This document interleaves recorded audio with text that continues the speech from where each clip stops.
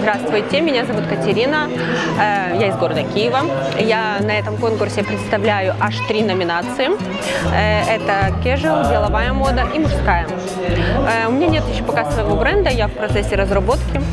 В прошлом связано очень с индустрией моды, но свадебной немножко индустрии, немножко в другом контексте. Вот.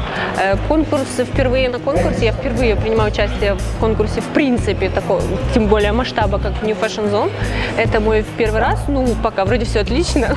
Ну, для меня лично конкурсы это всегда какая-то перспектива, то есть я могу сказать, что лично для меня это уже победа, потому что три номинации, о результатах которых я узнала две недели назад, и отшить шесть работ за столь короткий период времени, это для меня это уже героизм. Поэтому я, в принципе, сегодня сегодня я реально победила себя.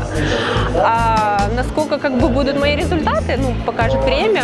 А, но на самом-то деле всегда опыт к чему-то заставляет двигаться, но он для меня, скорее всего, будет в процессе.